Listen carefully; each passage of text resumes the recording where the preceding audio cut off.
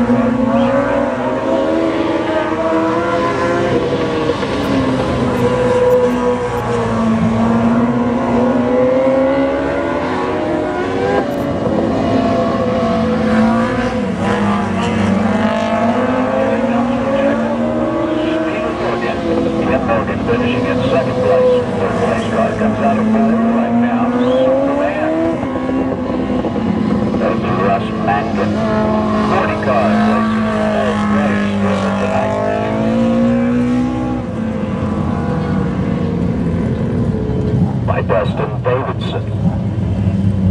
Five, five, First E of the Unit 4 of the Cars.